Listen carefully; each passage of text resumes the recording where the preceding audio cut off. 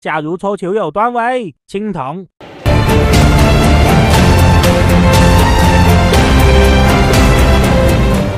白银。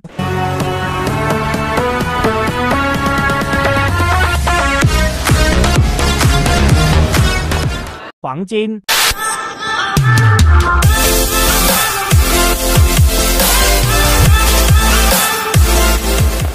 钻石。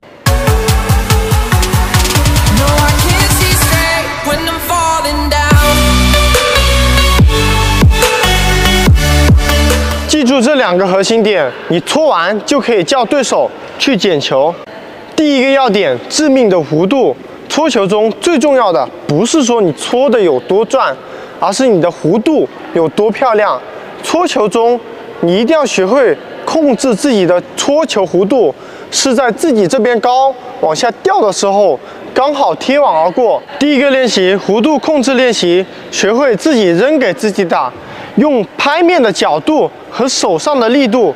控制球的弧度，让每一个球都是在自己这边高往下掉的时候，刚好贴网而过。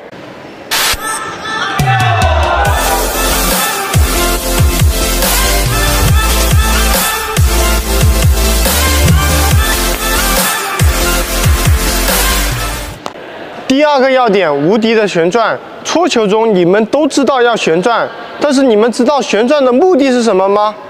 我来告诉你。旋转的目的就是为了让球在高点的时候剧烈的旋转，让对手不容易打到球头，只能打到球毛，从而逼迫对手只能在低点球不转的时候把球接过来，让自己占据绝对的主动权。第二个练习搓转练习，搓转练习中有两个练习核心点，第一个练习核心点就是贴拍练习。我们一定要将球拍贴住球头去搓，将球拍的摩擦力完全的转化为球旋转的动力，这样我们才可以搓出致命的旋转。第二个练习核心点是顺着球头的方向去搓。